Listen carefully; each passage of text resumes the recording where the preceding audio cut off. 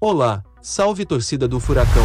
Bem-vindo ao canal. Não se esqueça de se inscrever e ativar as notificações, para ajudar o canal a crescer e continuar trazendo muita informação.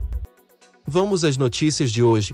O treinador poderá fazer mudanças para o ataque para estreia no Campeonato Brasileiro, fora de casa, contra o São Paulo. O atacante Pedro Rocha será opção para a primeira rodada do torneio nacional. Os jogadores contratados como Vitinho e Canobio precisam ainda aprimorar a parte física e não devem estar à disposição de Valentim. O treinador deverá esboçar o time nos próximos treinamentos para estreia no Brasileirão. Alexandre Matos, CEO de negócios no Furacão, vai buscar novo arqueiro no mercado. A tendência é que o escolhido seja o reserva de Bento.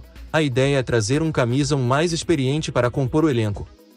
Para finalizar as notícias.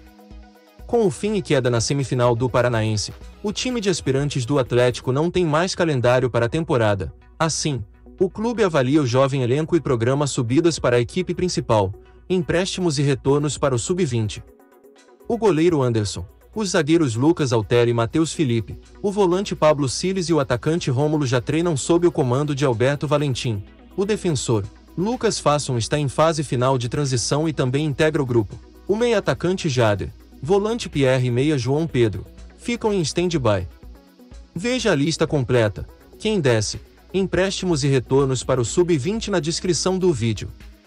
O que você torcedor achou das notícias? O Atlético está certo em trazer um goleiro experiente. Comenta, deixa um like e se inscreva no canal. Até o próximo vídeo.